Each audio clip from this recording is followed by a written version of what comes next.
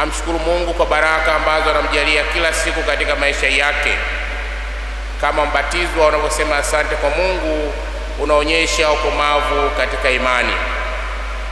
Pia katika sadaka hii kuna wenzetu wanandoa ambao wametimiza miaka kumi ya ndoa, nao wanamshukuru Mungu zaidi kwa uhai, pia kwa kuwajalia hiyo miaka kumi ya ndoa.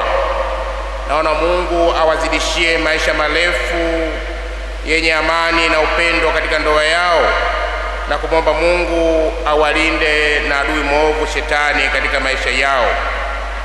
Pia wanamshukuru Mungu kwa kuwajalia watoto watatu na kumwomba Mungu azidi kuwalinda watoto hao ili wafike kwenye utume ambao Mungu amewaandalia. Kwa hiyo tuungane kuiombea hii familia ili iweze kudumu na iweze kuishi imani kwa ukomavu ulio hai. Wakiishi hivyo, watafanana neno la Mungu ambalo leo tunalisikia. Kristo anawapinga Mafarisayo kwa kuonyesha unafiki, na anasema kwamba kama wakiendelea kuwapotosha watu, basi dhambi za mababu zao na dhambi zao za kumuua Kristo, basi wataendelea kuangamizwa. Pia wao kwa kuwa walikuwa wakitafsiri maandiko matakatifu, walitafsiri huku wakiendelea kuwapotosha watu.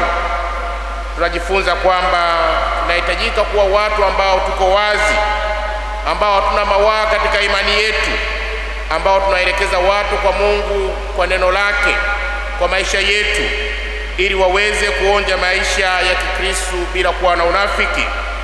Na pia tunapaswa kuonyesha utakatifu katika maisha hayo, na zaidi utakatifu unahitaji unyenyekevu na kumpa Mwenyezi Mungu kila anachostahili, mojawapo ni kumshukuru. Kwa hiyo tumwombe Mungu atujalie unyenyekevu, ili basi shukrani yetu kwa Mwenyezi Mungu iweze kuendana na imani yetu.